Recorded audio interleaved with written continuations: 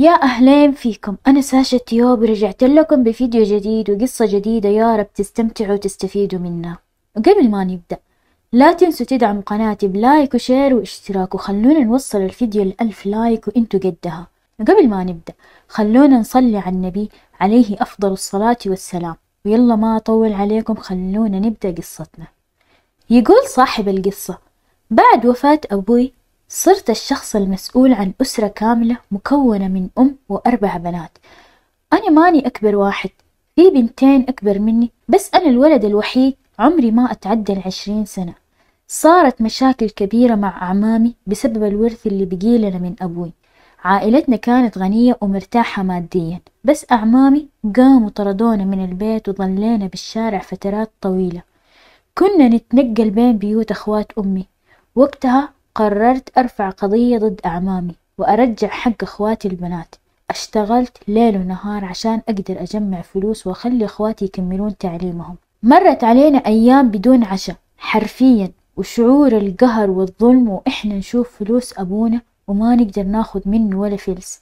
من بعد ما كنا مرتاحين ماديا ونعيش في استقرار في بيتنا وعندنا قطعة أرض وشركة أبوي. تخيلوا تغيرت حياتنا وصرنا حتى معاش أبوي ما نقدر ناخده. أهل أبوي الله يهديهم كانوا يستغلوا إن أمي ما تعرف تقرأ ولا تكتب وخلوها تبصم على أوراق بحجة إن ذي حقوق عيالك وإنهم قاعدين يقسمون الورث. والحقيقة إن ذي الأوراق كانت للتنازل عن حقوقنا. دخلت في دوامة محاكم وقضايا وضرب وإهانة من أعمامي. لكني ما استسلمت. ظليت مصمم على إني آخذ الحق. وتخيل وأنا في عز الصراعات مع أعمامي عرفت إن جدتي كانت لها دور رئيسي بكل الأزمات اللي نتعرض لها من عيالها.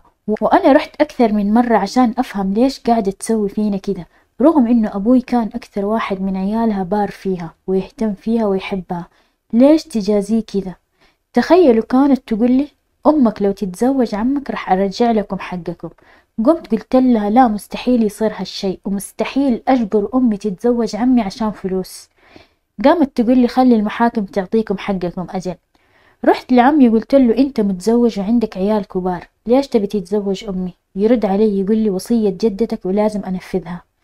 قعدت شهور أشتغل ليل ونهار وأذاكر وأحاول أساعد أمي.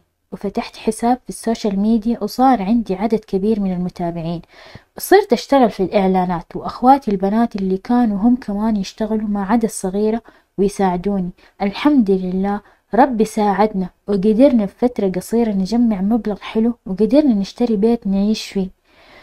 وأخذنا في القضية الأولى الخاصة بتزوير بصمة أمي حكم لصالحنا وكانت الصدمة الأولى لعمي إنه ولد عمي كان يبي يساعدنا وبالفعل جاب لنا أوراق توزيع الورث ووصية أبوي اللي اختفت بعد وفاته من بيتنا. وكانت تثبت إنه كتب البيت باسم أمي وأخواتي البنات وكتب الأرض باسمي لأنه بيعرف إنه يصير عليها مشاكل مختلفة. لكن الشركة هي ورث من أبوه يعني مشتركة بيني وبين عمامي. وأنا مستحيل أترك حقي ولا حق أخواتي البنات. وكسبنا القضية وانصدمت جدتي وودوها للمستشفى. وبعدها رجعت وطلبت من أمي السماح وأمي سامحتها بعد كل اللي سوته فينا لأنه قلبها طيب. بس أنا ما قدرت أسامحها بالشي اللي سوته فينا. عشنا سنة وأكثر من الذل والقسوة والمر في حياتنا وكأننا ما كنا عايشين معاها في بيت واحد وأولاد ولدها الكبير والأكثر حنية ومرعاة لها. بعد ما حصلنا على حقنا ورجعنا لبيتنا بيت أبوي الله يرحمه تزوجت أختي الكبيرة من ولد عمي. وكانت الصدمة الثانية لعمي لأنه ولده كان قاعد يساعدنا بدون علم والده. بس هو راح طلب السماح من أبوه وقال له إنه عمه قبل ما يتوفى اللي هو أبوي ناداه ووصاه إنه ما يتركنا لأنه بيعرف جحود إخوانه وعدم تفكيره فينا وإنه كل همهم الفلوس. بعدها قررنا نفتح صفحة جديدة بس أنا حطيت حدود لي مع أهل أبوي في كل التعاملات. أنا صرت أدير شركات العائلة بعد ما اشتريت حصة عمي فيها وأخذت ورث أبوي كامل من أبوه ومن شغله كمان. أنا الآن أشتغل وأدرس في الجامعة وأدير حساب في ال social media ومرتاحين ماديا. وأخواتي اتنين منهم تخرجوا من الجامعة وواحدة تزوجت ولد عمي والثانية مخطوبة. والاثنين الصغار لسه بيدرسوا وفي نفس الوقت صاروا يشتغلوا في ال social media وعندهم حسابات قوية دخلوا مجال الإعلانات والحمد لله ربي رجع لنا حقنا وما رضينا بالظلم وما استسلمنا لجدتي ولا لأعمامي نصيحتي لكم أبدا لا تتركوا حقوقكم بس خذوها بالعقل. وبكذا انتهت قصتنا لليوم وإذا عندكم قصص حلوة أرسلوها على الإنستغرام أو السناب. بحط لكم الروابط في صندوق الوصف.